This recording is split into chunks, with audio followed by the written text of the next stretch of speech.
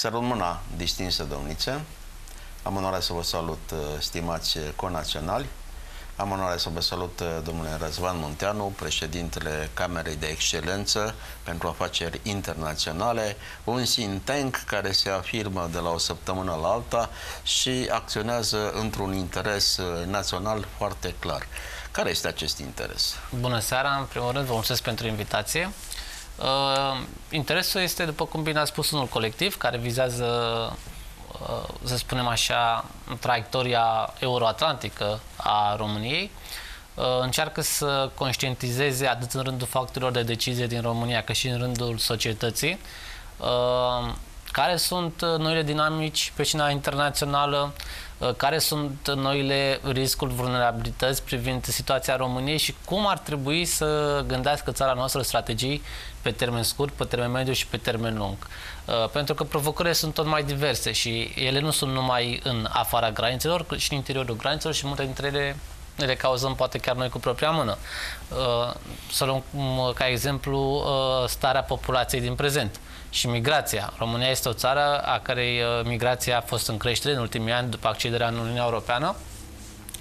Uh, acolo unde, evident, muncitorii români foarte bine calificați, fără doar și poate, au acces au accesat piața europeană, au reușit să câștige o sumă de bani mai mare ca în țară, însă această migrație a forței de muncă calificată, deci este o problemă pentru România și vedem cu toții care ne plimbăm prin marile orașe cum uh, construcțiile acum se fac uh, cu muncitori din afara spațiului atât al României cât și al Europei, din țări mai puțin dezvoltate ca noi și ar trebui să ne gândim cum vom rezolva această problemă pentru că este deja o vulnerabilitate pentru România, din mai multe puncte de vedere. În niciun caz ar fi o problemă faptul că ne aducem oameni să lucreze în țară, dar scăderea natalității populației, uh, scăderea numărului de locuitori, inversarea piramidei vârstelor, sunt probleme la care trebuie să ne gândim și asupra cărora ar trebui să reflectăm. Aceasta este, spre exemplu, un, uh, acesta este un exemplu al unor probleme la care ar trebui să ne, să ne concentrăm. Uh, mai apoi, uh, un alt exemplu ar fi uh, traiectorul uh, in, internațional al țării, cum ne poziționăm pe plan extern și este clar că zona euroatlantică, NATO și Uniunea Europeană rămân importante pentru noi și fundamentale pentru interesul țării noastre. Chiar dezvoltăm, uh, implementăm de fapt în prezent un proiect finanțat direct de către NATO, Uh, NATO for Youth Understanding, adică NATO pentru înțelesul tinerilor, unde ne propunem să aducem uh, experți din zona militară, din zona afacerilor externe sau din zona uh, de analiză politică ori jurnalism în fața unor tineri cu vârste între 16 și 24 de ani, alături de care să interacționeze, să dialogueze și să încerce să îi să le arate tinerilor nu numai expertiza pe care o au, dar și uh, felul în care arată lumea astăzi. Apropo, vă întrerup un pic, avem pe ecran acum o imagine, stimați telespectatori, și mulțumesc colegilor din regie. Este ilustrația care semnalează faptul că a confirmat uh, secretarul general NATO, Jens Stoltenberg, că va fi pe 11 noiembrie la festivitățile care vor fi dedicate comemorării împlinirii unui secol de la încheierea primei conflagrații mondiale. Secretarul general NATO, care este provenit din funcția de premier al Norvegiei, iată-l acum uh, din, de la aplicația despre care vom discuta într-un context adecvat uh, din Norvegia, Trident Juncture, iată că va fi la Paris. La Paris se pare că va fi și o întâlnire între președintele Statelor Unite ale Americii și președintele Federației Ruse. Interesant semnalul dat de Stoltenberg.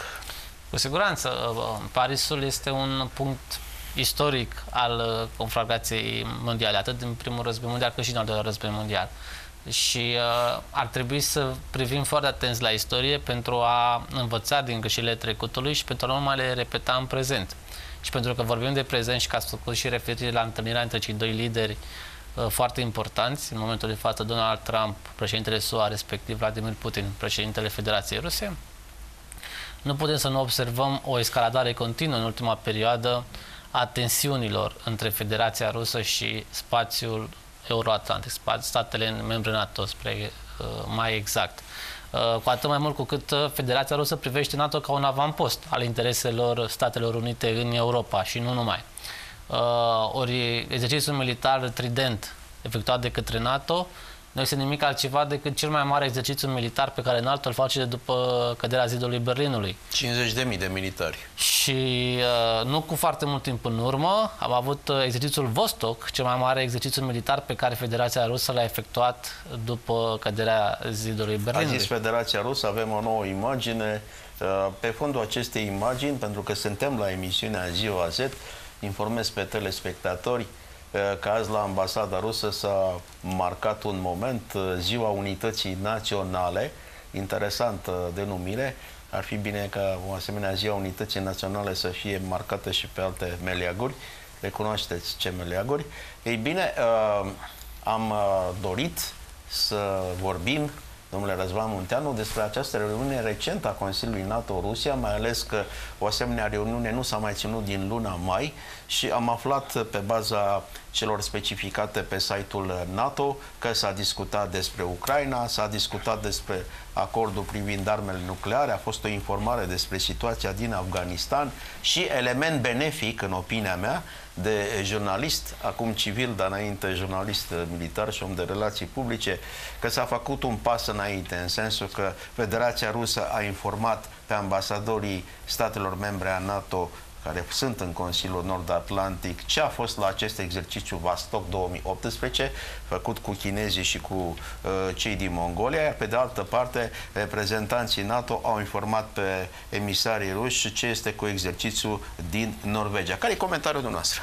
Sigur, acestea sunt aspecte normale ale diplomației militare, pentru că, până la urmă, niciun exercițiu militar care se efectuează nu trebuie să fie privit ca o amenințare de către statele din regiune. Ori uh, atât statele membre NATO au nevoie să cunoască exercițiile militare ale Federației Ruse, cât și de cealaltă parte Federația Rusă trebuie să aibă o viziune asupra exercițiilor militare pe care statele membre le face. Dar uh, nu, asta nu înseamnă că nu a fost o felul de tensiuni.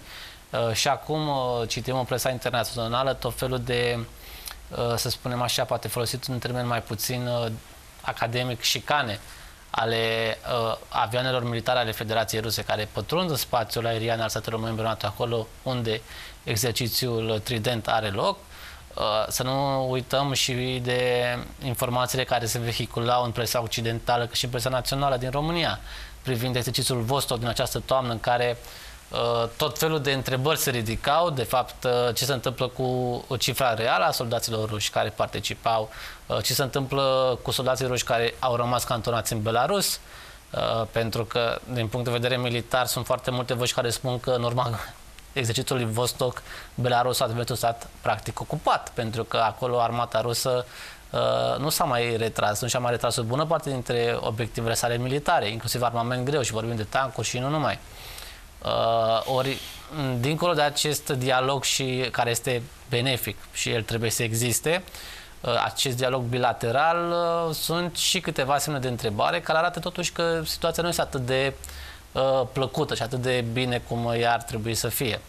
Uh, motiv pentru care ar trebui să privim cu foarte, foarte mare atenție cum se va desfășura această relație NATO-Federația Rusă sau SUA-Federația Rusă și uh, să nu uităm că și China este un actor destul de relevant și sunt voci foarte puternice în zona de științe politice și relații internaționale uh, care spun că mai degrabă Federația Rusă și uh, Statele Unite ar trebui să privească împreună amenințarea chineză și să încerce să găsească un sens, uh, un consens de fapt de a dialoga și de a putea să se poziționeze pe pășinea relațiilor internaționale. Ceea ce noi observăm și este lezne de înțeles că în momentul de față asistăm practic la un început de reașezare a unei noi ordini, să spunem, a unei noi uh, scene internaționale, uh, unde poziția SUA poate fi amenințată de către mari puteri cum ar fi, uh, cum ar fi China. Uh, Federația Rusă are și ambițiile sale și să nu uităm declarația lui Vladimir Putin, care a spus că destrămarea Uniunii Sovietice este cea mai mare catastrofă geopolitică a secolului.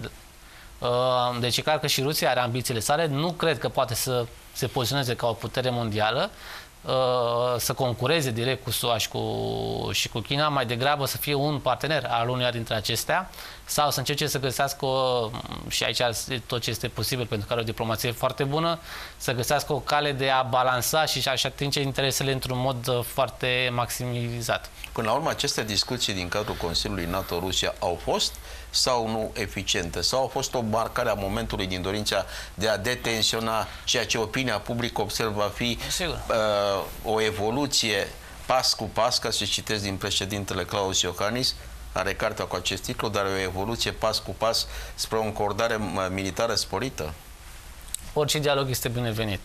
Uh, pentru că dialogul uh, are șansa de a scădea neîncrederea reciprocă între cele două blocuri geopolitice. Și trebuie să recunoaștem că, de fapt, uh, principala problemă și principalul fundament al tensiunilor este cauzat inclusiv de neîncredere. Pentru că, ok, avem interese care uneori converg, alteori nu, uh, dar neîncrederea a marcat și începe să marcheze foarte mult uh, relațiile dintre aceste puteri și nu ne referim numai la relația SUA-Federația Rusă, cât și la alte state pe șina internațională.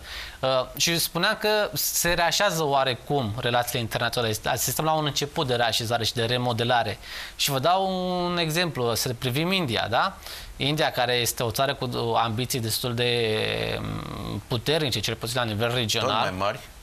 Exact, foarte bine ați spus dumneavoastră. Uh, al cărui premier Narendra Modi era nu cu foarte mult timp în urmă declararea persoana non grata în Statele Unite ale Americii și India era un partener tradițional al Federației Ruse. Narendra Modi a făcut o vizită la Casa Albă în ultimii ani ai mandatului lui Barack Obama, a fost privit, primit cu covorul roșu, a ținut un speech în fața Congresului și ușor, ușor, uh, ca o contrabalansare a șinsunii chineze, India începe să se apropie de Statele Unite ale Americii. În timp ce Pakistanul, care era de fapt un partener tradițional al SUA și cel mai mare partener al Washingtonului în lupta antiteroristă din afara NATO, uh, pivotează ușor, ușor uh, ca urmare a acestei relații între India și SUA către Federația Rusă. Aveți către dreptate, China. aveți dreptate pentru că am văzut uh, primirea la noul premier al uh, Pakistanului, a ministrului de externe iranian, o relație dintre Iran și Rusia să știe. Apropo de Rusia, avem pe ecran acum, stimați telespectatori, vă oferim în premieră harta de azi interactivă, harta de azi 1 noiembrie 2018 a Ucrainei. Vă oferim nu numai pentru a vă semnala, așa cum vedeți pe hartă, faptul că Federația Rusă gestionează teritoriul numit Peninsula Crimea, gestionează și teritoriul din partea de uh, est a Ucrainei, Donbass, unde sunt republicile separatiste. Uh, chiar în ultimele 24 de ore acolo au fost răniți militari ucraineni. Dar dacă vă uitați cu atenție undeva în partea dreaptă, și aici o să vă rog pe dumneavoastră să-mi explicați, domnule Răzvan Munteanu, pentru că pregătiți un doctorat în ce privește această zonă, uh, pentru prima dată președintele propriului birou, uh, adică președintele Republicii Moldova, Dodon, a spus că în viitor calea Republicii Moldova este spre Rusia și, atenție, spre Turcia. Dacă ne uităm la Marea Neagră, deci o Ucraina în flăcări, o Ucraina deja divizată, o Georgie amenințată, uh, tocmai a fost acolo John Bolton și a lăudat interlocutorii oficiali georgieni, dar Georgia rămâne doar un partener al NATO și al Statelor Unite ale Americii și în același timp uh, avem uh, teritoriul românesc din Teplut și Nistru condus de o manieră care ține de, iată, surpriza zilei și o prezentăm la ziua Z, apropierea dorită de Dodon de Rusia și Turcia. Comentariul dumneavoastră nu ar trebui să privim cu foarte mare importanță aceste declarații pe care președintele de Igor Dodon le face. Nu numai ca urmare a lipsei sale de viziune a politicii externe și a capacități limitate pe care până Dar sunteți primul care afirmați că nu are viziune, că are o lipsă de viziune. O lipsă de viziune în contextul în care tot ceea ce a făcut și toată politica sa externă s-a bazat de fapt pe relația cu Federația Rusă și cu președintele rus Vladimir Putin, de altfel singurul care îl sprijină cu adevărat pe Igor Dodon. Uh, bun, avem o relație apropiată între uh, Turcia și oarecum președintele Republicii Moldova. Să nu uităm că uh, Uh, Recep Tayyip Erdogan a efectuat recent o vizită la Chișinău, mai mult uh, Palatul Prezidențial de la Chișinău uh, distrus în urma protestelor din 2009, de aprilie 2009, a fost refăcut prin banii oferiți de către, de către Turcia. A fost o recompensă a faptului că Dodon a expulzat o serie de profesori turci din Republica Moldova? Nu, mai degrabă um, expulzarea profesorilor a fost o recompensă față de banii primiți. Aha, interesant. Pentru că banii primiți au venit cu foarte mult timp în urmă. Deci Toți a fost banii și apoi expulzarea. Cu siguranță și banii, să nu credeți din punctul meu de vedere, acum nu am informații, fac doar o speculație, fiind totuși puțin uh, realiști, Uh, vă dați seama că o parte din bani s-au și scurs către anumite canale care au știut cum să profite de După bunul obicei de, de la Chișinău, da. După obiceiul care este specific mai uh, multor state, nu numai Republicii Moldova. Uh, din păcate, pentru Republica Moldova, problemele economice sunt din ce în ce mai persistente.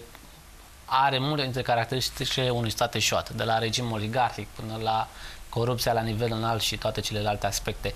Ceea ce președintele Igor Dodon uh, nu realizat este că mai degrabă riscă să arunce pe termen lung Republica Moldova nu pe o axă Moscova-Ankara, ci mai degrabă într-o posibilă bătălie pentru influență între Moscova și Ankara. Pentru că eu nu cred că relațiile turco-ruse pe termen lung vor fi atât de calde cum sunt ele acum în prezent. Pe ce vă bazați?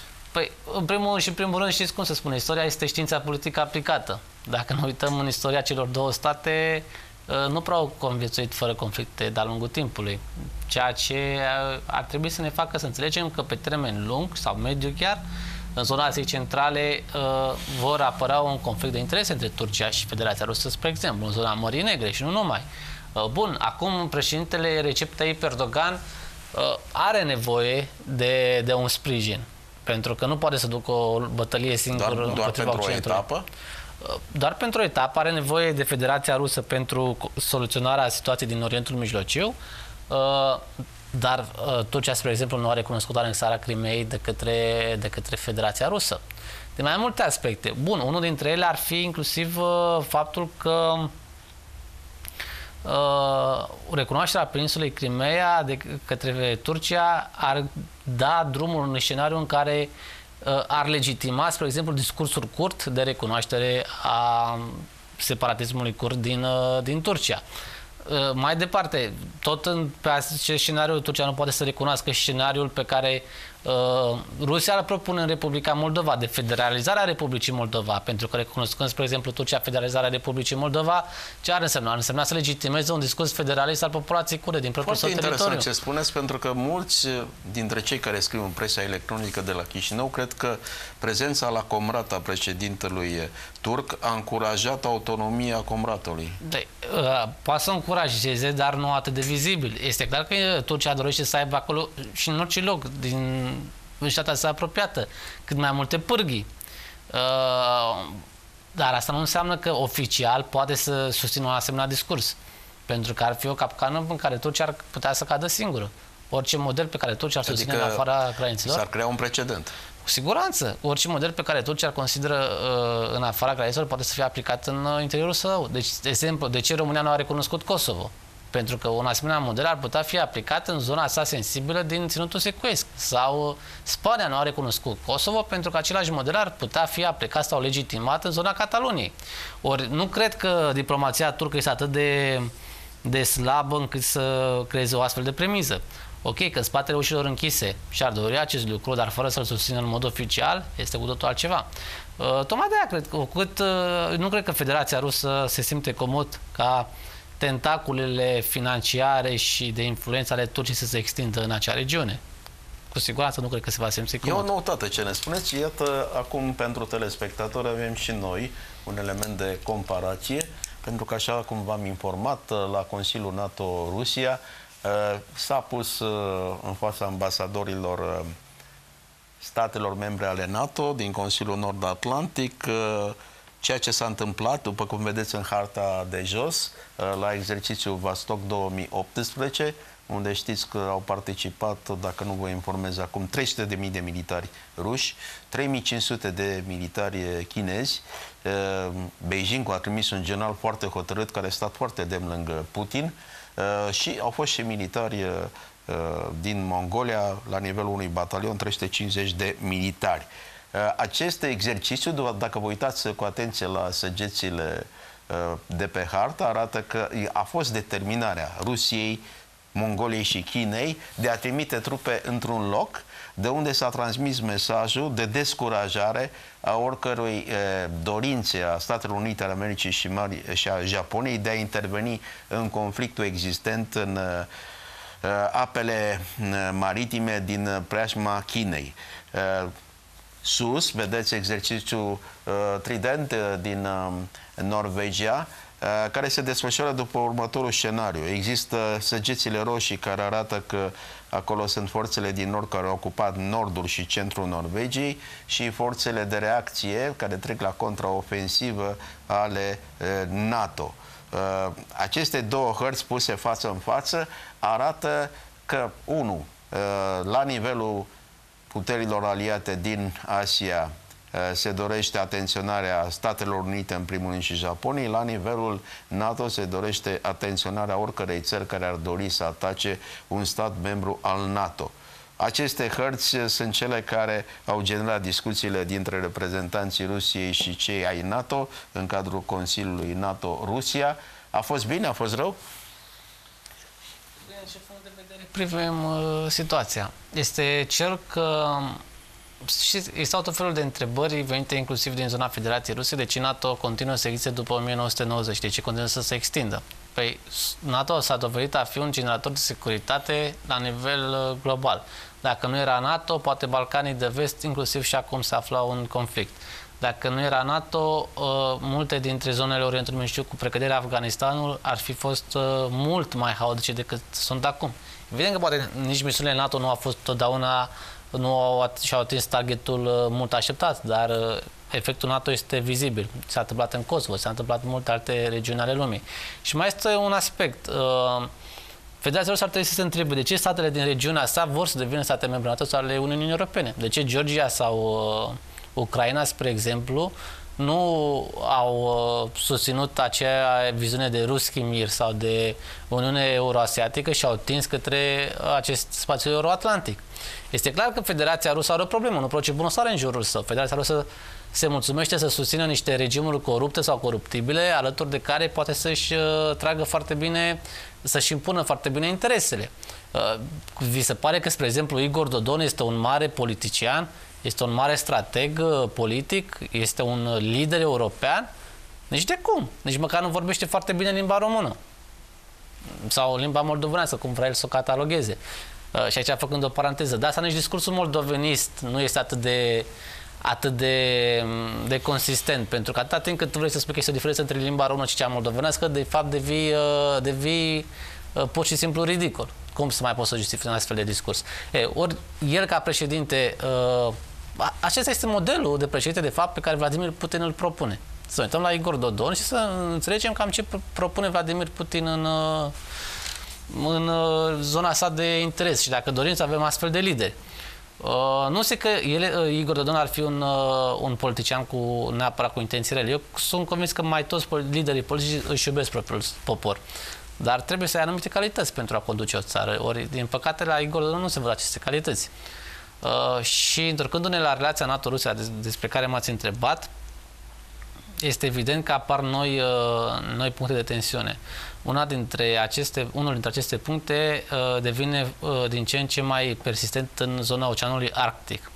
Acolo unde, ca urmare a încălzirii globale, gheața s-a, o parte din gheață s-a topit, devine din ce în ce mai navigabil Oceanul Arctic, ori dacă va deveni în proporție de 80% navigabil, va scurta cam cu 40-50% traficul maritim la nivel global. Oricine va avea acces acolo va putea să controleze mult mai ușor economia globală și cine va controla economia globală, evident că va avea și, și bani. Având bani, poți să atingi și obiectivele geopolitice.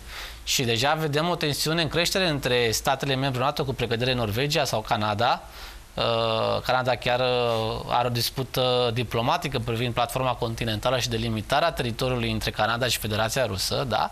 Deci o dispută între aceste state uh, membre NATO și Federația Rusă. Nu degeaba exercițiul Trident are loc unde? Are loc în zona Oceanului Arctic. Și nu degeaba acolo se află înainte de exercițiu dislocați 600 de infanteriști marini americani care sunt antrenați de norvegieni să acționeze în condiții dificile, de temperaturi foarte scăzute. Pentru prima dată de după cel al doilea război mondial, că tot vorbim de căderea cortinei de fier, da, uh, Norvegia a acceptat cantonarea unor trupe străine în propriul lor teritoriu. Și să mai ne punem o întrebare. Uh, la acest exercițiu participă state vecine cu Federația Rusă care sunt neutre. Suedia și Finlanda. Da? Care nu sunt state membre NATO. De ce, din punctul dumneavoastră de vedere?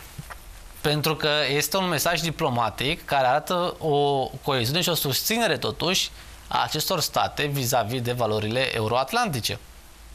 Și că nu ar fi de acord cu o ascensiune a agresivității Federației Ruse în regiune. Uh, exercițiul Vostok s-a efectuat în apropierea zonei uh, Mării Baltice, uh, unde se află, spre exemplu, insula Gotland, care aparține Suediei și care are o importanță strategică în zona Mării Baltice. Zapadu, Zapadu, Bastocul, Îmi cer scuze, Zapadu, da. da. Care are o importanță asemenea peninsulei Crimea în Marea Neagră. E clar că aceste state se simt amenințate de o posibilă escaladare a conflictelor cu Federația Rusă și ele nu sunt state membre NATO. Ele nu pot invoca articolul 5. Deci Ucraina nu a fost stat membru NATO. Uh, Mai avem uh, un minut uh, și vreau să vă pun o întrebare punctuală și rog un răspuns adecvat. Deci Norvegia a acceptat 600 de infanteriști marini americani pe teritoriul ei pentru a, a fi un cap de pot care să motiveze America să fie prezentă în Norvegia dacă se întâmplă ceva nedorit în această zonă. O agresiune pe care nimeni nu o dorește, dar despre care se vorbește. Polonia a cerut o divizie americană, chiar să oferi să o plătească cu 2 miliarde de dolari pe an, dar să fie divizia americană, să nu se mai repete tragedia Poloniei din ultimul război mondial când a fost împărțită de Germania și Uniunea Sovietică. România are câteva sute de militari americani la baza aeriană Cogălnicianu, are interceptorile de la Deveselu și are investiții americane la uh, câmpia Turzii. Nu miroase aproape de pușcă? Uh, tot ceea ce a spus dumneavoastră este să susțineți ideea pe care am uh, adus în discuție a escaladării tensiunilor. Cu siguranță miroase praf de pușcă, să sperăm doar că va rămâne mirosul de praf de pușcă și că nu vom vedea fitilul aprins. Da, vom continua dialogul interesant cu președintele eh, Camerei de Excelență în Afaceri Internaționale, Răzvan Munteanu, după pauza publicitară.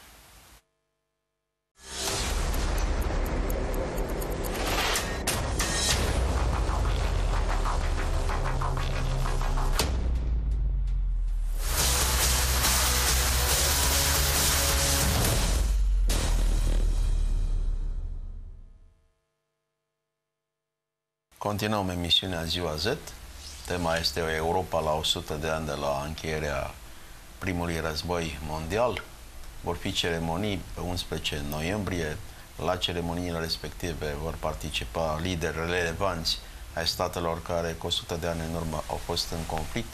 Ne-am propus în uh, minutele următoare să luăm uh, pe rând țările implicate, începând cu țările învinse și să rog pe destinsul meu invitat, uh, Răzvan Munteanu, care este președintele Camerei de Excelență pentru Afaceri Internaționale, să-și expună opiniile vis-a-vis -vis de pildă, și avem acum pe ecran, pe cine a condus în 1918 Germania, cine conduce în 2018 Germania, atunci împăratul Wilhelm al II-lea, astăzi încă Angela Merkel. Am zis încă pentru că și-a anunțat intenția de a se retrage din fruntea partidului și ulterior, uh, prin, 1000, prin 2021, să se retragă și din fruntea guvernului, dacă va mai registra până atunci în fruntea executivului de la Berlin.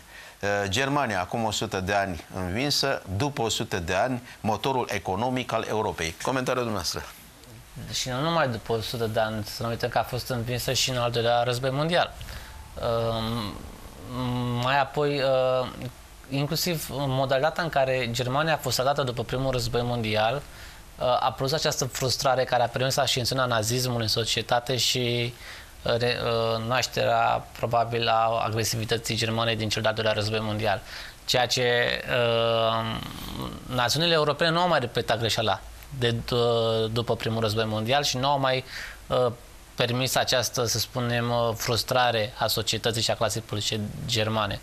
Și să nu uităm că în 1990 Germania era împărțită în două, după căderea zidului Berlinului a reușit să se reunifice și de atunci până în prezent este motorul nu numai economic, cât și politic în momentul de față al Uniunii Europene. Este drept că acea criză a refugiaților și poziționarea Angelei Merkel se pare că a costat-o destul de mult și a creat și anumite vulnerabilități, anumite disfuncții de sistem uh, la nivel politic în Uniunea Europeană, pentru că mai toate fracțiunile mm, și facțiunile de extremă dreaptă din, uh, din Europa au prins având pe această amenințare, între ghilimele, a migranților, a islamizării Europei. Și vedem că discursul lui Marine Le Pen din Franța se bazează pe acest aspect, discursul lui Salvini, care este vicepremier în Italia și șeful Ligii Nordului, se bazează pe, pe acest subiect și nu numai. Uh, Germania însă va trebui să, să mențină Uniunea Europeană mult mai coezivă și trebuie să, să-și asume acest rol alături de Franța în momentul de față, pentru că sunt principale state care au această capacitate de, de a menține Uniunea Europeană așa cum o știm și așa cum am înțeles toți până în prezent. Interesant că Fie... în presa germană s-a semnalat, îmi cer scuze că vă întrerup, în sensul că ați avut un uh, discurs extrem de convingător. Dacă pleacă Angela Merkel, totuși cei care vor rămâne oficial la Berlin uh, vor rămâne la fel de înverșunați împotriva Marii Britanii. O Mare Britanie care e un pic în derivă, unii ar avea un nou referendum, uh, dar Berlinul nu iartă tentativa Londrei de a părăsi Uniunea Europeană.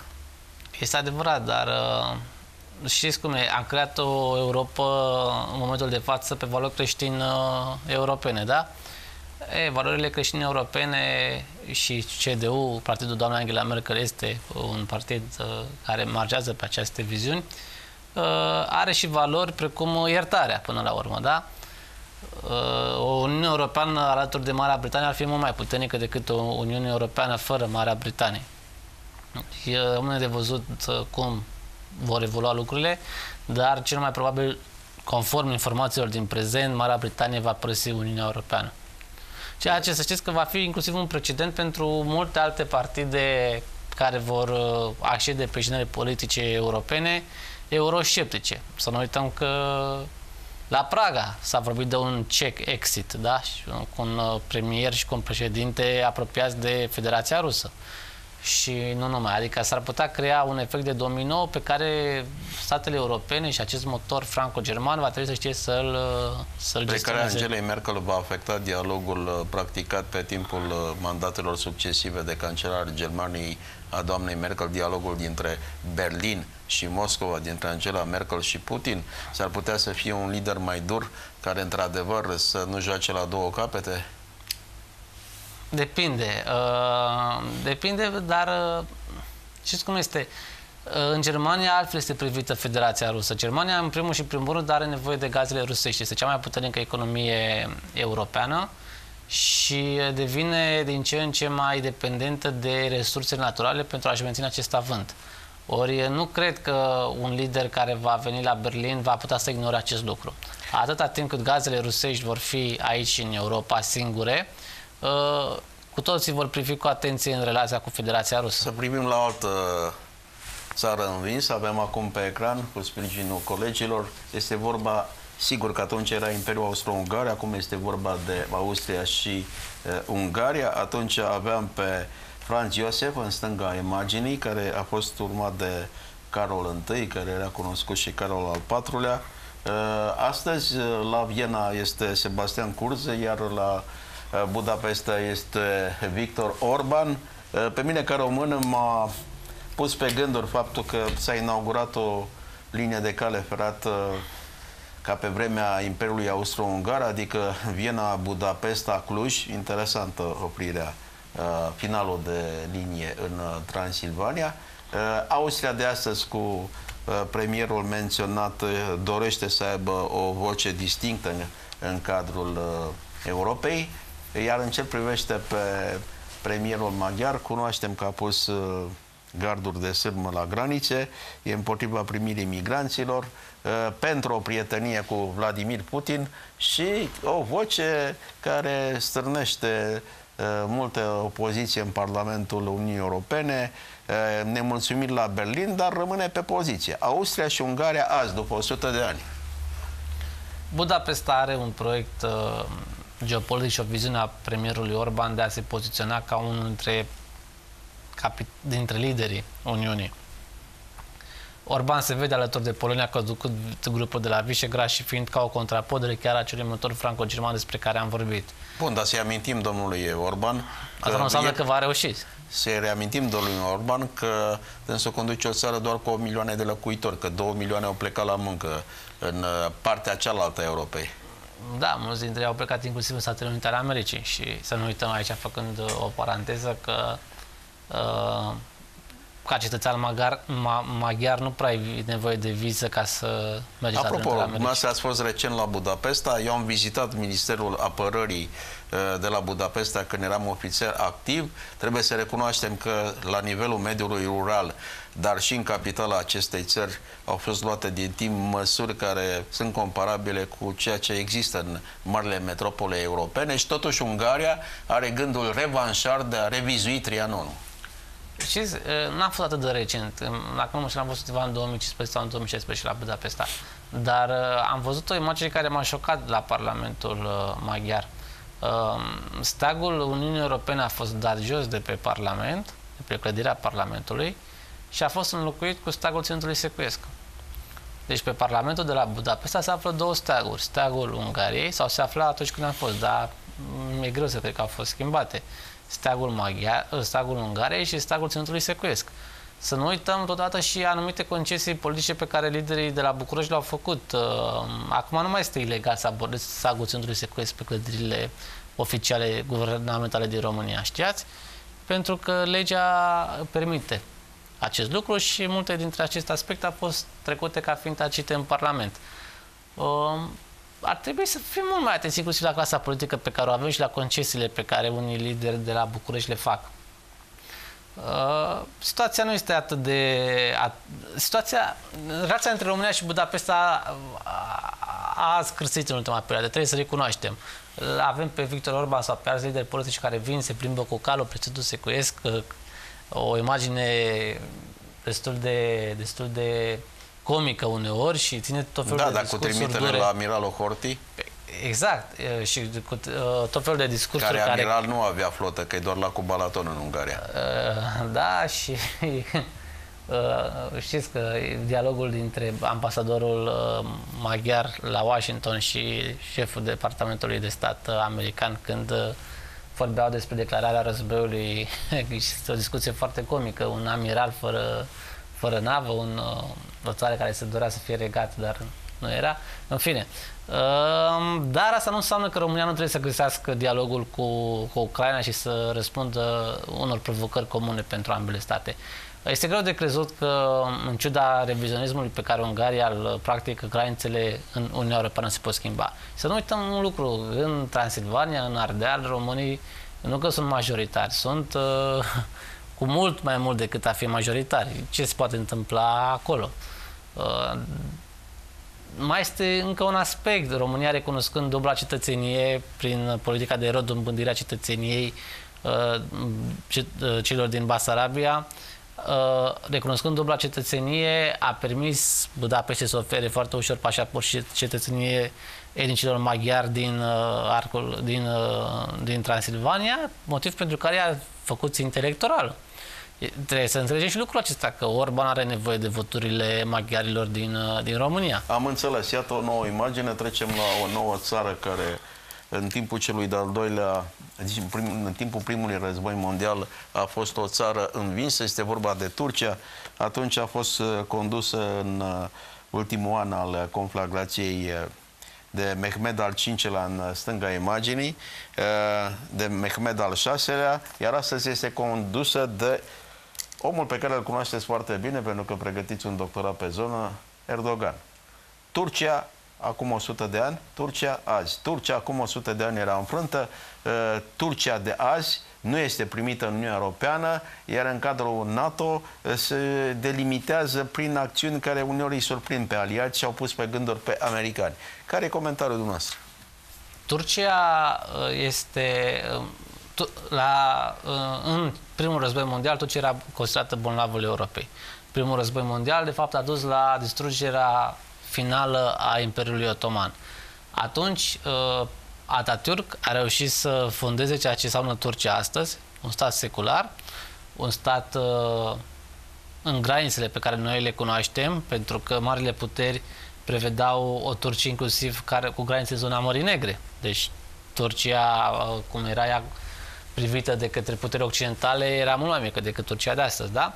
Totuși, un stat secular, un stat care a devenit membru NATO în 1953, dacă nu mă înșel, uh, cu uh, dorința de a accede continuă în spațiul Uniunii Europene. Pe de altă parte, cina politică de la Ankara s-a schimbat în ultimii ani, mai ales după schimbarea Constituției, ceea ce a permis lui Recep Tayyip Erdogan să devină președinte pentru următoarele două mandate. El deținând inițial funcția de premier într-o republică parlamentară. Acum este președinte într-o republică prezidențială, unde nu mai are prim-ministru, este cel care conduce țara. Într-un fel seamănă teoretic cu sistemul american, deci președintele conduce direct guvernul. Da, cu sistemul american, dar unii spun că seamănă mai degrabă cu uh, sistemul Federației Ruse. Deși la Federația Rusă avem premier. La Federația Rusă avem premier, da. Dar ca sistem de... Uh, relaționare. Relaționare, exact. Bun. Uh, Recep Tayyip Erdogan este considerat de către foarte mulți analiști de la, de la Ankara din, sau din zona Orientului Mijlociu ca fiind noul sultan al Republicii uh, Turcie. Uh, și se ridică întrebarea dacă Turcia uh, va nu rămâne... se întoarce mormânt Atatürk? Exact, aici, aici voiam să ajung de fapt, pentru că se ridică întrebarea dacă nu cumva secularismul în Turcia va fi amenințat și dacă nu cumva, și dacă nu cumva, uh, Erdogan va permite o islamizare treptată a societății. Rămâne de văzut ce, ce se va întâmpla. Va accepta poporul turc așa ceva? Dar știți că poporul turc este... Pentru că cei care l-au votat pe Erdogan au depășit doar cu câteva procente majoritatea. Știți că poporul turc este...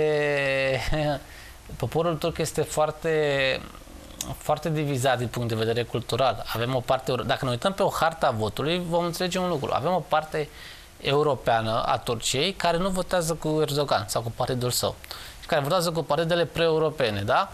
Și avem pe de cealaltă parte restul Turciei, care este mult mai mare, inclusiv din punct de vedere geografic, acea câmpie a Anatoliei, unde Erdogan domină și unde uh, populația este mult mai tradițională și mult mai puțin influențată de către valorile occidentale. Adică trebuie să intrăm în partea asiatică a ce să ne plimbăm cu mașina, să vedem deja că femeile să poarte burcă, că moscheile sunt mult Am mai avut pline. ocazia să îl însoțesc pe domnul Gian Popescu, șeful statului major general, la momentul când conducea armata română, în Capadocia. Uh-huh. Și acolo ne-au dus uh, oficialii turci, uh, ca să vă dau dreptate, da. uh, să vizităm o localitate rurală și chiar să intrăm într-o zonă să vedem cum mâncau. Și aveți mare dreptate. Era o sărăcie care te lăsa uluit. Da. E, uh, cam asta este Turcia profundă. Pentru că, știți cum e, și noi uh, altfel vedem Bucureștiul și altfel este România profundă când ieșim din București și mergem și vedem valorile tradiționale, valorile uh, ortodoxe care se respectă. Dacă am vedea România doar din perspectiva Bucureștiului, nu ar fi o imagine corectă. Deci cam asta este Turcia astăzi. O altă imagine, o altă țară care atunci, în primul război mondial, a fost înfrântă, este vorba de Bulgaria. Sus vedeți imaginile a doi dintre cei care, în calitate de regi, Ferdinand I și Boris al III-lea, Boris al III-lea a fost uh, fiul lui Ferdinand I, uh, a fost monarh succesiv în uh, anul 1918. Mai jos aveți imaginea președintelui de azi, Rumen Radev. A fost înfrântă Bulgaria, astăzi, după 100 de ani, este țara membra NATO, este țara membra Uniunii Europene, dar nu dorește să supere Moscova. Da, și trebuie să înțelegem acest lucru. Știți, uh, nu toate țările uh, au relația istorică cu Federația Rusă pe care noi avem. Deși și noi putem să găsim multe aspecte pozitive în, din punct de vedere istoric în relația cu Federația Rusă. De la oameni precum Pavel Kiselev, spre exemplu, până la faptul că am luptat col la cot cu armata rusă pentru a ne ține independența față de Imperiul Otoman. Cu diferența că nu noi, ci arhiducele Nicolae ne-a solicitat ajutorul. Da, acest lucru este adevărat, dar soldații uh, români și cei, uh, cei ruși au luptat cod la cod și acest lucru a fost important pentru ambele state, indiscutabil. Adică avem multe aspecte de care ne putem lega să deschidem un dialog cu Federația Rusă și multe alte divergențe în același timp, precum și cele mai cunoscute, Sarabia sau uh, tezaurul în România. Și chiar da? la vremea acelor momente care țineau de viitoarea independență a României, exista temerea uh, la cei care conduceau țara atunci, inclusiv la nivelul monarhiei, că rușii vin, dar nu mai pleacă. Este adevărat, pentru că România era un stat latin care nu era uh, totuși atât de ușor de influențat din punct de vedere cultural de către Federația Rusă și de aici tot felul de, de scenarii care se luau în calcul. Pe de altă parte, uh, Bulgaria, spre exemplu, nu a avut astfel de uh, relații istorică cu Federația Rusă, din contră. Uh, Rusia a fost totdeauna partenerii bulgarilor și cei care le-au asigurat securitatea, pentru că marile probleme pe care bulgarii le-au avut din punct de vedere istoric au fost cu turcii. reminiscența istorică față de otomani și față de musulmanii turci este foarte puternică în rândul populației din, din Bulgaria. Pe de cealaltă parte, uh, rușii erau priviți ca frații lor slavi ortodoxi, ca și în Serbia. Da?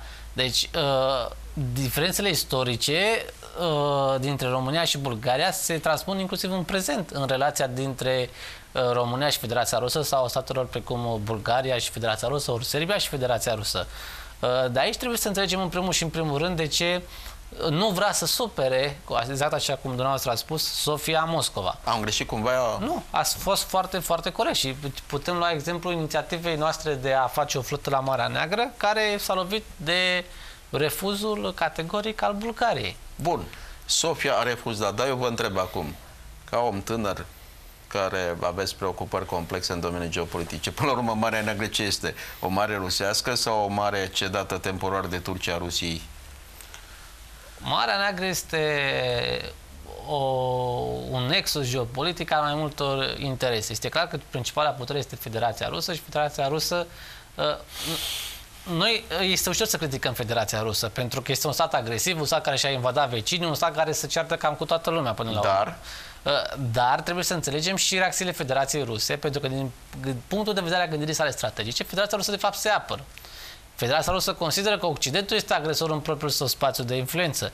Dar păi, Federația... domnule Răzvan Muntelu, granița dintre NATO și spațiul estic, numărul uh, militarilor din unitățile masate de Moscova spre frontiera cu NATO este de N ori mai mare decât ce trupe are alianța în zonă. În timp, ce Federația, în timp ce Federația Rusă uită milionul de soldați chinezi care se află la granița de nord a Chinei cu Federația Rusă. Eu nu cred că, eu nu cred că uită și cred că privește cu, cu foarte mare temere, dar pe termen lung, nu, nu pe termen scurt. Uh, mai ales că populația chineză va trebui să se ducă undeva, ori Siberia este cam goală. Și de Deja se află acolo 1.100.000 de cetățeni chinezi, bărbați, femei, copii, acceptați de ruși, de autoritățile ruse, fără arme, da. dar care deja practic au de, creat o, un teritoriu muncit de alții. Este adevărat, este adevărat. Eu cred că numărul lor este mult mai mare. Este, eu așa cred. Eu știu că sunt undeva jur de 8, între 8 și 10 milioane de chinezi care se află în Siberia. Dar 8 și 10 milioane de chinezi pentru o stat ca Republica China este total altceva. Să trecem la statele învingătoare de acum 100 de ani și avem uh, pe ecran pentru început uh, două personalități. Este vorba de cel care a fost în urmă cu 100 de ani, uh, George Clemenceau, și cel care este astăzi, Emmanuel Macron. Franța. Franța își dorește să fie uh, cel puțin uh, egala Germaniei, dacă nu pe anumite segmente se ia inițiative care să restarteze Uniunea Europeană, inclusiv admițând că ar fi trei zone în care ar fi trei categorii de state. Eh, Franța acum 100 de ani era de partea celor care împărtășeau eh, satisfacția de a fi învins. Eh, astăzi, democrația determine ca Parisul să aibă relații bune cu Berlinul și să-și dorească o Europa democratică unită. Comentariul dumneavoastră? În primul și primul rând, ca Europa să fie stabilă, trebuie să avem o relație foarte bună între Paris și Berlin. Pentru că de aici au fost multe probleme de-a lungul istoriei uh, între cele două state, trebuie să, ca lucrurile să fie foarte, foarte, foarte clare. Fra, uh, Macron se, se dorește a fi un lider politic al Uniunii Europene. El tot uh, vine cu această inițiativă de o Uniune pe două viteze, cu un parlament, spre exemplu, cu un parlament specific zonei euro. Bun, dar a scăzut în sondaje și acum euro. câteva zile zicea Sarkozy, predecesorul său, trebuie să-l lăsăm să se sedimenteze. Deci până și Sarkozy eh, dădea semnalul către opinia publică franceză să aibă răbdare cu Macron. Cu siguranță, pentru că știți cum e, oamenii au foarte mari așteptări, dar uh, puțin își dau seama că ai nevoie de timp să înțelegi sistemul și că ai nevoie de timp ca să-l reformezi. Eu, spre exemplu, am vorbit uh, cu oameni care au deținut funcția de ministru și toți, toți și mai mult de 10 persoane mi-au spus că au avut nevoie de cel puțin 2-3 ani ca să înțeleagă ministerul cu adevărat și ar mai fi avut nevoie de încă 2 ani ca să poată să reformeze. Și ministrul am avut noi, spre exemplu, care să stea 5 ani într-o funcție. Puteți să reformulați ce prim-ministru am avut noi care a avut șansa să stea patru ani. Exact. Am început să schimbăm miniștrii ca în Italia, în vremea crizei specifice, când din șase în șase luni era al premier la Roma. Da, ar trebui să încercăm să ne maturizăm puțin din punct de vedere politic și să găsim un consens. Este anul centenarului, măcar acum să găsim un consens în această luptă politică pentru a da, dar putea fi o voce care să zică, da, domnule, dar în Franța, uite, președintele are premierul lui. La București, președintele nu are premierul lui.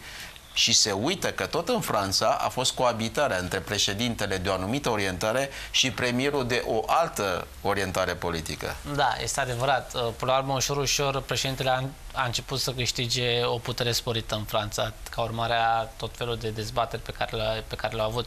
Noi să ne uităm că am preluat modelul uh, din Franța Modelul nostru este unul de tip francez, Republică semiprezidențială. Iar Bucureștiul e micul Paris? Iar Bucureștiul era cândva micul Paris, să sperăm că va, bună, bună ironie, va da. deveni el un model pentru alte capitale. Dar președintele Macron a promis uh, și l-a surprins pe președintele Iohannis, când a fost ultimat în România, că de 1 decembrie va fi la aniversarea celor 100 de ani de existență a României democrate unitare europene. Sigur, este o, o dovadă a bunei relații pe care Bucureștiul are cu această axă Berlin-Paris. Și nu o să se supere Budapesta? Păi, noi trebuie să înțelegem oarecum și uh, resentimentele maghiarilor. Până la urmă nu putem să creăm o, o Europa unită dacă nu ne înțelegem unii pe alții.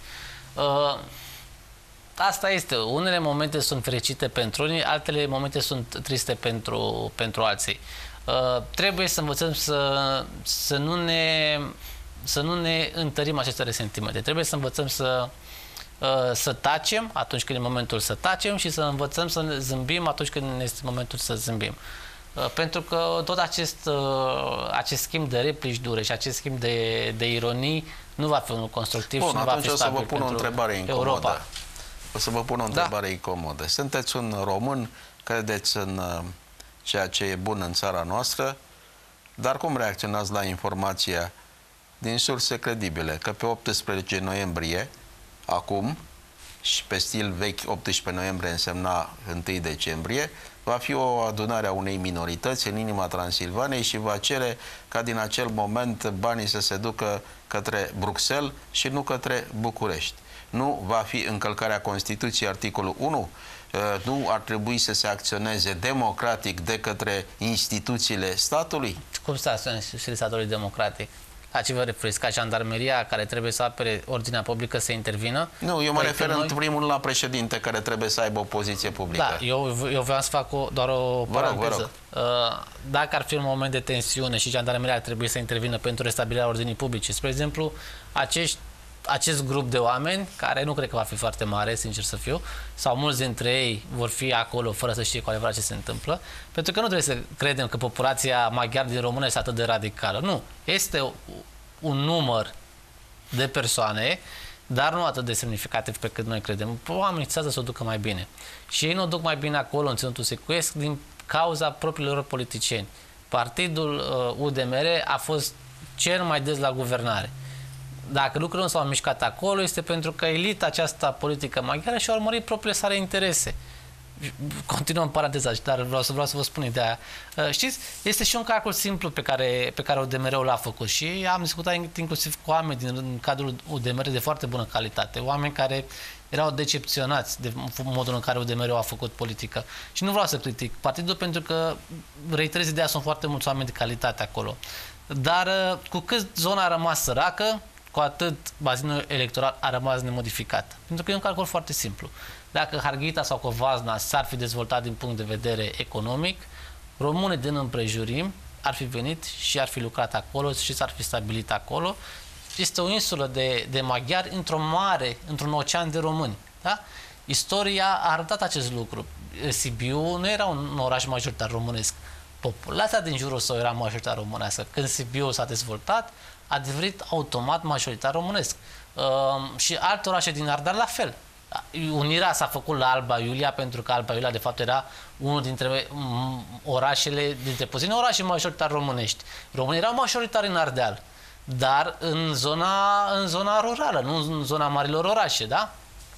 E, uh, este un calcul simplu pe care, pe care un, unul dintre calculele simple pe care liderii maghiari le-au făcut. Mulțumesc frumos. Vom continua dialogul interesant cu Răzvan Munteanu, președintele Camerei de Excelență pentru Afaceri Internaționale, după pauza publicitară.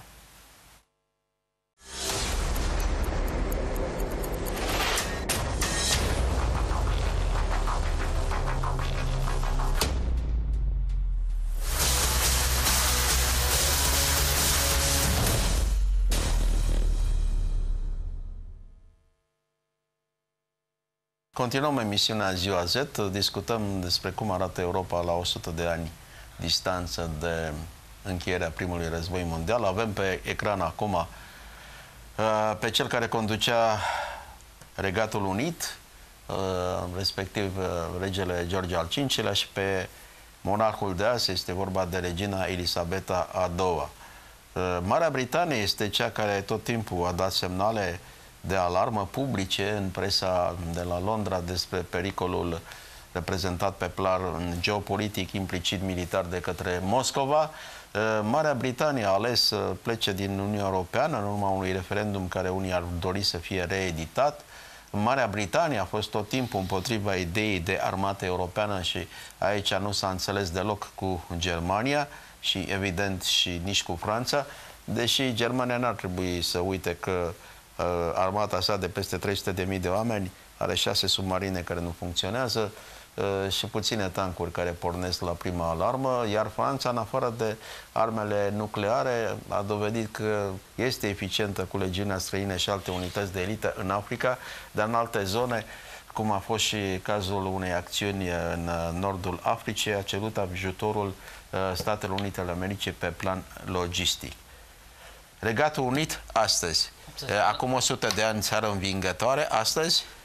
Să sperăm că va fi în continuare un regat unit.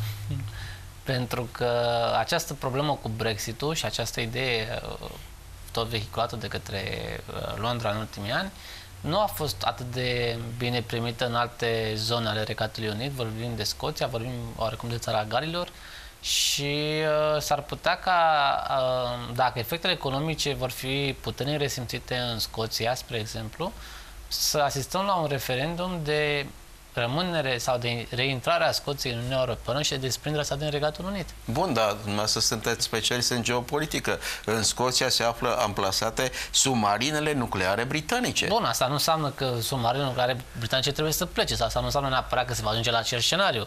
Dar sunt o serie de vulnerabilități pe care Londra și le asumă ieșind din, uh, din, uh, din Uniunea Europeană chiar dacă se va ajunge acolo, nu înseamnă că vom asista la un conflict, uh, să spun, diplomatic sau, sau cel puțin militar, cel mult militar, să spunem, între Scoția și Marea Britanie, cât uh, Scoția să uh, fie nevoită să uh, expulzeze bazele militare britanice. Uh, Tocmai de aceea zic că trebuie să fim pregătiți la multe, multe surprize. În, în cazul acesta apropiat. înseamnă că va fi o nouă victorie a Moscovei dacă se va ajunge ipotetic la uh, separarea Scoției de Marea Britanie, la separarea uh, Irlandei de Nord de Marea Britanie. Sau Irlandei de Nord, da, foarte bine a spus. Știți, uh, oare ar fi o victorie a Scoției sau oare nu ar, o victorie a Rusiei sau oare nu ar fi o victorie a Rusiei? Nu cumva am riscat să ajungem într-un joc de domino Uh, care s-ar putea, ca urmare a multor de negre care ar putea să apară în viitor, nu știu, poate chiar crize economice, poate chiar confragații sau conflicte am militare. Am fost acum câteva săptămâni la Londra și am stat de vorbă cu români de acolo, dar și cu britanici. Am aflat cu surprindere că mulți muncitori din Irlanda de Nord deci această zonă care și-a dori eventuala separare, vin și lucrează la Londra pe bani buni. Și că acești muncitori care vin din Irlanda de Nord n-au niciun gând de separatism. Este adevărat. Uh, ce, ce vreau eu să, să vă spun doar, uh, m-ați întrebat că ar fi o victorie a Federației Ruse. Uh, nu cumva am riscat să cădem într-o într-o zonă greu predictibilă, unde foarte multe lebede negre ar putea să apară și să asistăm la un efect de domino al unor mișcări de separare sau unor mișcări separatiste. Bun, și cine s-ar bucura? Cine nu dorește o Europa unită? Da, dar să nu, să nu ne pripim că Rusia nu este o, o țară coezivă din punct de vedere... Nu mă pripesc, dar vă aduc aminte de uh, acțiunile uh, unor uh, agenți uh, ai uh, Federației Ruse care au otrăvit persoane publice. Este adevărat. Devenite este adevărat. publice după mediatizare în presa britanică. Este adevărat. Tot un fel de dacă lucrurile chiar au stat așa, este de fapt un atac chimic al uh, unui stat uh, extern într-un stat membru NATO, pentru că au folosit substanțe chimice. Dar Federația Rusă este oare un stat unitar? Nu cred că este un stat unitar, este un stat multietnic, multireligios. Uh, cred că și acolo pot apăra câteva mișcări separatiste în viitor dacă situația la nivel european nu va fi foarte bine gestionată.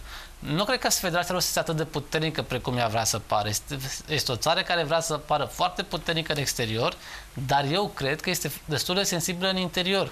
Și nu ar fi nici în interesul Federației Ruse ca până la urmă să arunce Europa într-un aer al mișcărilor se, A zis Federația Rusă și avem acum uh, pe ecran pe cel care conducea ca țar în urmă cu 100 de ani Rusia și pe cel care astăzi conduce Federația Rusă în calitate de președinte al Republicii, deși mulți jurnaliști occidentali fac referire la Vladimir Putin ca la țarul de azi de la Kremlin, țarul de astăzi de la Moscova.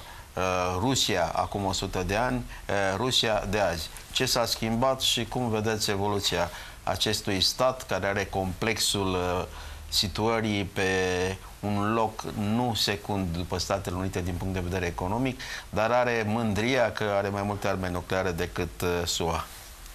Uh, este bine ca Rusia să-și păstreze această mândrie, este bine ca Rusia să dorească să prospere pentru binele propriului popor, dar și pentru binele uh, global. Rusia ar putea să fie partea unei arhitecturi de securitate globale destul de, destul de bine conturate. Uh, trebuie doar să înțelegem și noi modul în care Rusia privește lumea, dar și Rusia să înțeleagă modul în care Occidentul privește lumea. Da, vrea Rusia asta? Uh, întrebarea este dacă poate. uh, nu pentru că nu ar avea inteligență sau nu pentru că nu ar avea tot ceea ce îi trebuie, ci pentru că până la urmă sistemul, știți cum e, sistemul de putere din Federația Rusă, bazat pe acești oligarhi, bazat pe o corupție destul de uh, endemică la nivelul societății. Erau analiști care spuneau că, domnule, în Federația Rusă de azi Putin, silovichii sunt puternici. Este adevărat, dar uh, și acest sistem de silovichii s-a creat pe baza ce? S-a creat pe baza uh, corupției, da? Li s-au oferit tot felul de drepturi, tot felul de uh, acces la resurse, da? La resursele de, de petrol, de resursele miniere și nu numai, da? E, ori acest sistem care de, deja s-a conturat și deja este foarte puternic în Federația Rusă, nu cred că își permite, de exemplu, să adopte valorile de tip uh, occidentale, tip uh, al Uniunii Europene, uh, pentru că ar duce la destrămarea, destrămarea sistemului. Ori, până la urmă, vezi, e un cerc vicios. Ar putea ca destrămarea sistemului să fie destul de nociv pentru Federația Rusă. Spunea premierul uh, Mircea Druc, care a fost premier și a fost aici la 6 TV, că s-ar putea ca Federația Rusă să se împartă în 3-4 state în timp. Da, uh, păi, să nu uităm, uh, în Federația Rusă a fost războiul pe care Putin a reușit să-l câștige și aici trebuie să înțelegem că Putin este un personaj destul de popular în care va rămâne în istoria... Un adevărat unificator în viziunea unor ruși. Este adevărat și care va rămâne în istoria și în cărțile de istorie ale Rusiei, pentru că foarte mulți lideri sunt doar trecători, din păcate pentru ei. Uh, separatismul din Cecenia, din Ingushetia, din Dagestan, unde mai mult, acolo sunt, e populație musulmană. Populație musulmană care este în creștere, familie de musulmani fac 5-6 copii, familie de ruși normal ca și în România sau ca și în Occident, pe acolo maxim 2 copii, în medie, în medie, da? Dar de ce guvernul de la Moscova nu are această preocupare să stimuleze familiile Are tinere? această preocupare, cum să nu? Și încearcă să pună în practică tot felul de politici. Ideea este că trebuie să și poată să-și permită din punct de vedere economic. Deci, pe lângă aceste uh, mișcări uh, de uh, secesiune pe care le-am văzut în ultimii ani, Mai avem uh, autonomia mult discutată și mult disputată a Siberiei. Mai avem uh, independența mult disputată Dar mă și mult surprinde, discutată. și cine ar vrea în Siberia a să fie mai mult Tatarstanului. decât sunt acum? E, tocmai vorbim mai devreme. De ce n-ar vrea China? Nu? De ce China? China are toate capacitățile și tot ce trebuie pentru a popula, pe- pentru a popula Siberia. Pe Siberia pentru China este uh, O mană cerească. o mană cerească, cum să nu? Cum să nu? Deci sunt tot felul de, uh, de vulnerabilități pe care Federația Rusă le are uh, și pe care noi de multe ori nu le observăm, pentru că suntem totdeauna concentrați să vedem uh, modul în care Rusia se comportă din punct de vedere militar, din punct de vedere geopolitic în, în, în uh, regiune. Și mai este un aspect. uh, În primul și în primul rând, Rusia are o mare vulnerabilitate, concomitent cu această neîncredere față de Occident, din punct de vedere militar. Uh, Este înconjurată de câmpie și în istoria Rusiei a arătat că dacă nu are un spațiu tampon între ea și Occident, uh, nu numai că este vulnerabilă, uh, poate să fie ușor distrusă. Uh, Rusia a câștigat uh, războiul împotriva lui Hitler și împotriva lui Napoleon doar pentru că acel spațiu imens uh, le-a permis generalilor m, îngheț și uh, iarnă, cum spune un istoric român, să, să, să ajute la câștigarea Rusiei. Da, dar acum se joacă cu focul. Am văzut astăzi, am primit pe Twitter uh, o hartă care arăta că uh, nave militare rusești vor executa lansări de uh, rachete în apele maritime internaționale în largul Norvegiei, dar unde? În partea de sud și spunea un uh, oficial al Ministerului Norvegian al Apărării că așa ceva nu s-a întâmplat nici pe timpul războiului rece. Este, da, agresiunea Federației Ruse este din ce în ce, din ce, în ce mai vizibilă. Iar aici sunt trei zile vi- vizate, 1, 2 și 3 noiembrie, în care ei fac asemenea uh, lansări. Ca și cum ar fi intrat în scenariul NATO, scenariul NATO care vizează forțe din nord cu roșu, uh, că își doresc nu numai nordul și centrul Norvegiei, dar și sudul. Așa este. E cam pe muche de cuțit acolo. Este cam pe muche de cuțit și Federația Rusă vrea să arate că nu uh, este dispusă să, să fie un perdant al negocierilor. Import- Interesant este și dacă poate să ducă, de fapt, o luptă cu, cu puterile occidentale. Să nu uităm că economia rusă este puternic afectată în momentul de față. Orice ce ar vrea să spună rușii. Este suficient să ne uităm la datele oficiale, să facem o analiză cantitativă și să ne dăm seama că lucrurile nu stau foarte bine acolo. Și mai este ceva, uh, Occidentul nu trebuie să scape din mână Ucraina. Uh, Uniunea Europeană, uh, NATO trebuie să rămână alături de Ucraina și să mențină, uh, să mențină pozițiile pe care le au în prezent.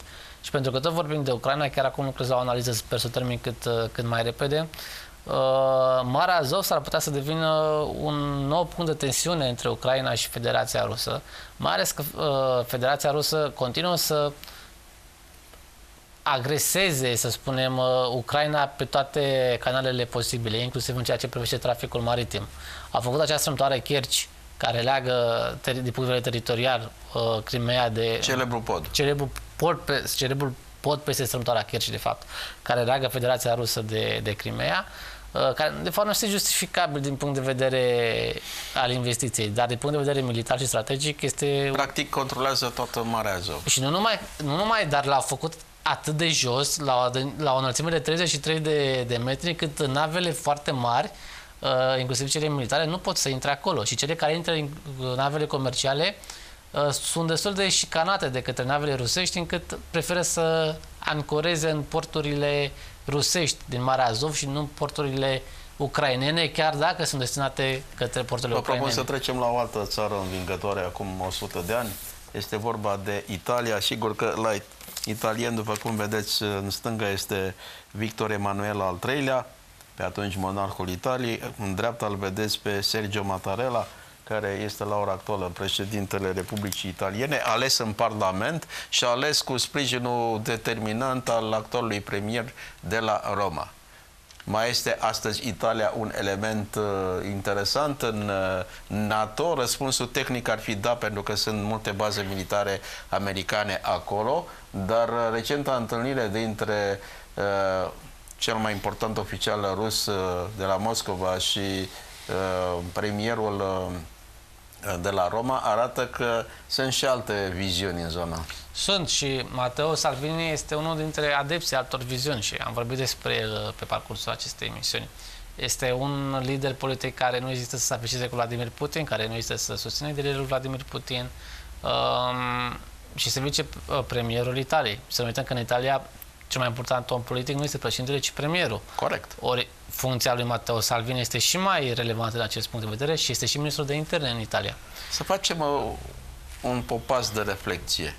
Italia în al doilea război mondial, nu în primul, în al doilea război mondial, a fost de partea Germaniei. Ungaria în al doilea război mondial a fost de partea Germaniei. Astăzi la Budapesta și Roma sunt simpatii pentru Moscova, care Moscova în doctrina militară uh, spune clar, NATO este inamicul Federației Ruse. Ce e cu aceste cutremure la nivelul orgolilor naționale unor premieri?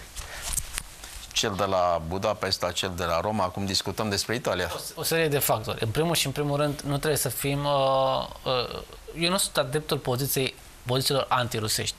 De punctul meu de vedere, cea mai bună strategie de politică externă poate să fie sintetizată inclusiv de cum vedea Titulescu, care era un pro-occidental, fără doar, și poate politica externă a României. Și Titulescu spunea, doamne, nu poți ca o țară precum România, când ai cel mai mare vecin, care este Moscova, să nu ai o relație deschisă cu el. Cât de deschisă se poate ea fi și încă să nu fii subordonat lui. Pentru că asta este și problema pe care noi în România am avut-o cu Federația Rusă, că de multe ori au încercat să ne subordoneze uh, din punct de vedere politic, da? Uh, ori noi... Și să acapareze din punct de vedere teritorial. Și teritorial și economic și nu numai. Uh, deci nu trebuie să, să, să fim opaci față de...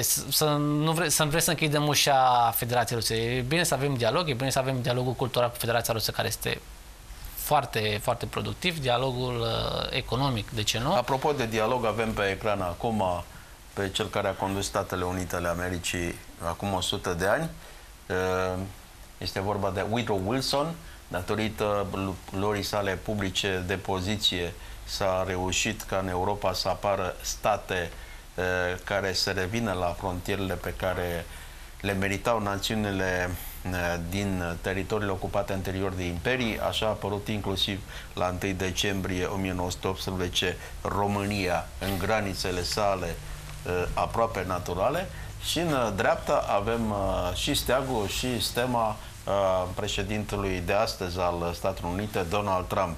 Donald Trump se pare că va avea un dialog cu Vladimir Putin pe 11 noiembrie la Paris. Donald Trump este cel care a avut rețineri vis-a-vis de NATO, dar în momentul în care aliații au înțeles că trebuie să, să crească cheltuielile de apărare, deocamdată la 2%, Donald Trump spune că și 4% n-ar strica și în cazul României confirm că ar fi o opțiune foarte inteligentă a clasei politice uh, de la noi. Ei bine, Donald Trump la Paris va face diferența. Uh, nu știu dacă va rosti Donald Trump un uh, discurs public, dar e cer că lumea va fi atentă la întâlnirea anunțată încă deloc infirmată dintre Donald Trump și Putin vine Donald Trump să-și pună propria pecete, apropo de însemnele puterii prezidențiale americane, pe evenimentul de la Paris.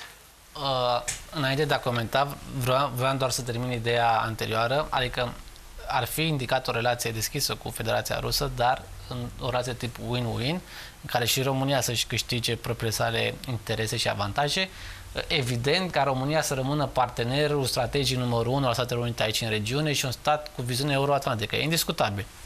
Uh, legat de, de președintele american, uh, și discursul lui în campania electorală a fost de un anumit tip, ușor, ușor ajungând la Casa Albă și înțelegând la fel cum stau lucrurile, uh, au fost evidente tot felul de, de schimbări uh, față de discursul său anterior, inclusiv în relația cu Turcia. În acea aminte că el spunea că îl va extrada foarte repede pe Fethullah Gulen, spre exemplu, principalul inamic al președintelui Erdogan, lucru care nu s-a întâmplat și care a agravat relația între uh, Trump și Erdogan. După ce Erdogan inclusiv fusese la Casa Albă și... În orice caz, bila albă pentru Trump care n-a cedat șantajul lui Erdogan. Exact. Nici nu putea să cedeze șantajul lui Erdogan. Pe de altă parte, statele occidentale sunt puse în fața faptului de a uh, folosi ghilimele de rigoare, evident, de a ceda în fața șantajului Donald Trump. Pentru că ceea ce face Donald Trump este de fapt să pună în practică abilitățile sale de de om de afaceri. Om de afaceri. Acel 2% de fapt, Donald Trump îl traduce felul următor e momentul ca voi să plătiți Statelor Unite pentru securitatea pe care v-a asigurat într-un Și moment n-are în care... dreptate? Pe- a- Are dreptate, nimeni nu-l contrazice, ce puțin între noi doi.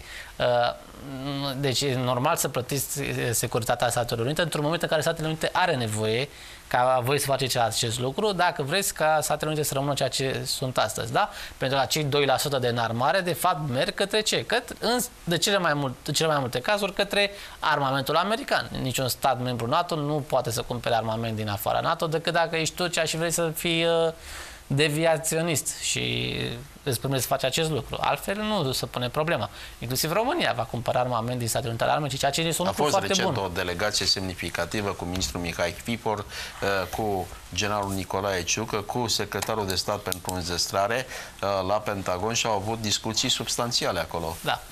Uh, Și să sperăm că vor fi puse în practic într-un mod pozitiv pentru țara noastră și că lucrurile vor fi uh, vor, fi, vor conduce către asigurarea securității militare a României. Securității militare, pentru că securitatea a căpătat noi valențe, nu este numai militară, este politică, economică și nu numai. Da, dar în același timp uh, eu observ printr-o analiză obiectivă a presei scrise, presei electronice, a emisiunilor de profil de la posturile de radio, atât cel public cât și cele private, dar și de la televiziune de știri din România, uh, că se menține la anumiți comentatori sindromul drobului de sare. Mai ieri vedeam pe micul ecran pe cineva care zicea, domnule, astăzi nu mai se rezolvă pe plan militar.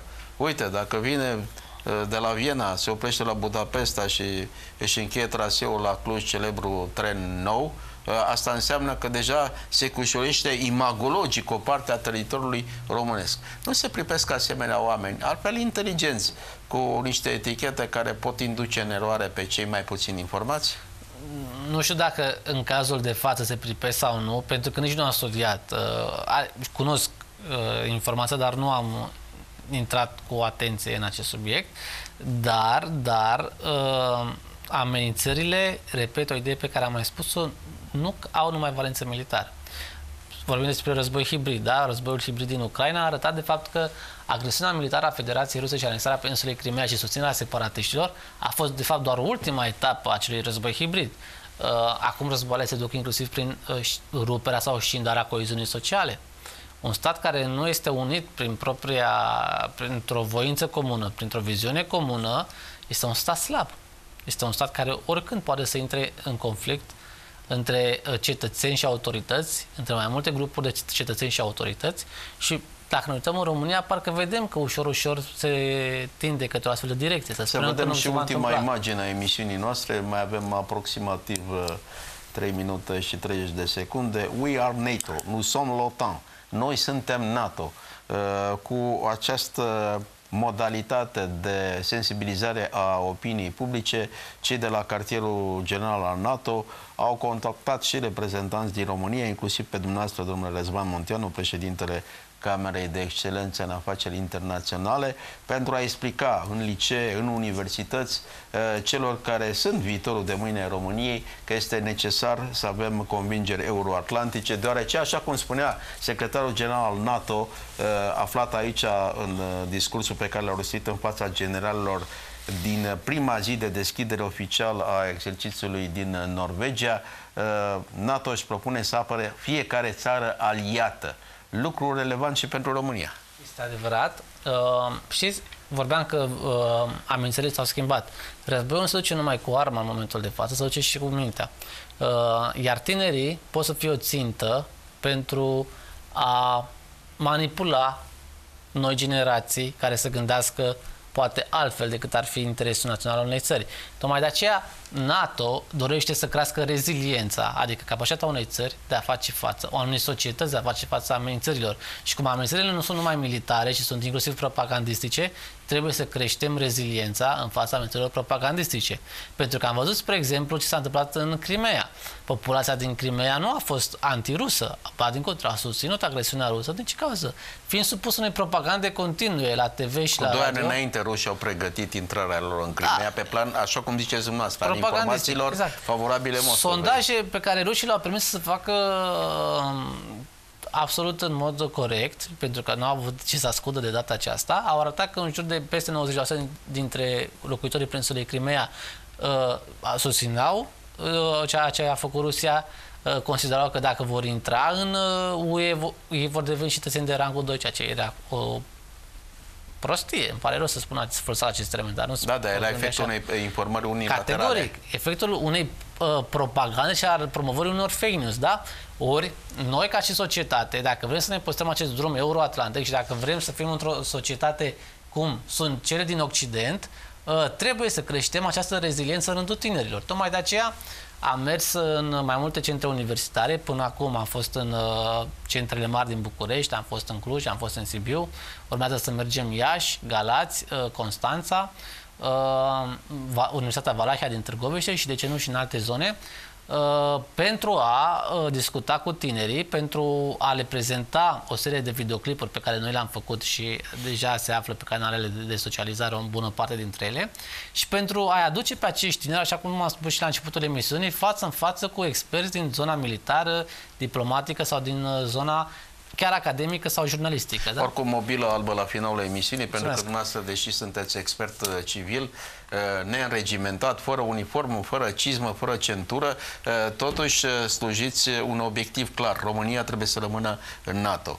Iată-ne la finalul emisiunii Ziua Z, în care invitați special a fost uh, conaționalul Răzvan Munteanu, președintele Camerei de Excelență în Afaceri Internaționale. O să am plăcerea să vă mai invit, uh, domnule Răzvan Munteanu.